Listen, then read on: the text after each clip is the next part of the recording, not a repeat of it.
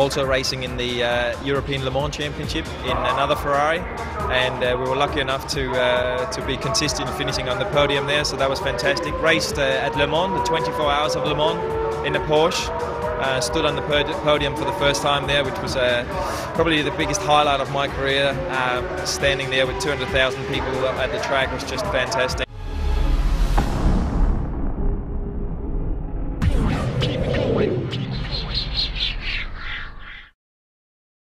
With a racing schedule that saw him race around the world nearly every weekend last year, adding the 2007 Australian GT Championship to his trophy cabinet was a fitting finale to an amazing year in motorsport.